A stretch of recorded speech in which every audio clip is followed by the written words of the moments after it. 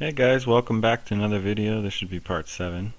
Uh, today I'll be talking about the latest additions to the compilation and they'll be including some cool alternate outfits. The Master Angler's joining. We got a 9 item transmutation NPC. There's going to be uh, 3 tabs at the map merchant and the Rainbow Redux additions have been expanded as well. So to start it off for our additional um, outfits, we've got some new themed outfits for both men and women in the character creation screen.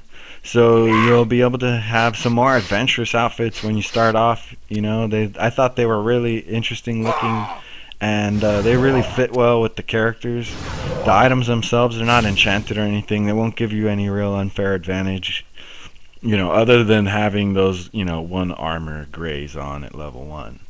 Um, not too huge of an advantage, but you know, it is a small. But with the rest of the custom classes, they are having little, uh, you know, armors on them when you get them.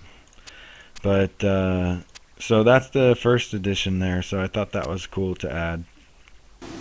And the other edition is going to be the Master Angler mod, adding a lot of new items that have to do with fishing. So you've got some more. Whoa, you've got some more fishing uh, related items that you can acquire through doing that, and those items, you know, the items that you can drop from monsters are these bait items. So, um, yeah, check those out. They, you know, really just to incentivize people to go fishing and play around with that, you know. So increase your fishing luck, go hit those fishing pools, you know.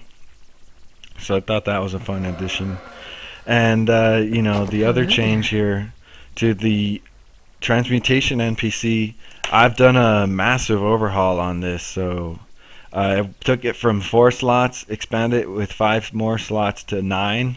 So we're gonna have a lot more variation on the available recipes we can create and I thought that was a really cool thing. So, you know, so far the only recipe that I've created as of yet uh, uses an item for Thrasher's inventory, those lotus petals, and um, you can create a black lotus unique socketable from all four elements of each damage type. So that's percentage and weapon damage.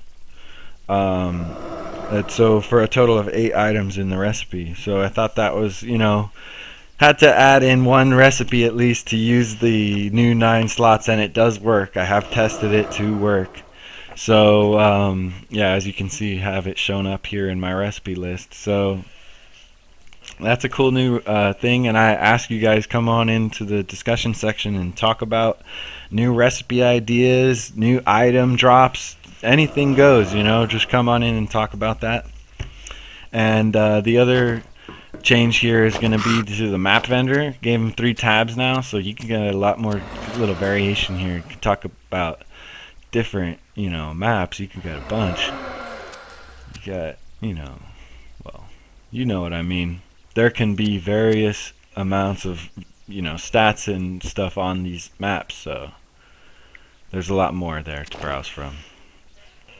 And uh, yeah, that'll do it. Well, uh, the last thing I should say is that the uh, I've added in Zaldaron's uh, item recolorings. So I've made his latest editions of uh, potions, mini maps, amulets, maps, and item overlays available inside the compilation pack. So those are just helping out for anybody else who wants to use that stuff. Um, it's all in there, so we have more item uh, icons.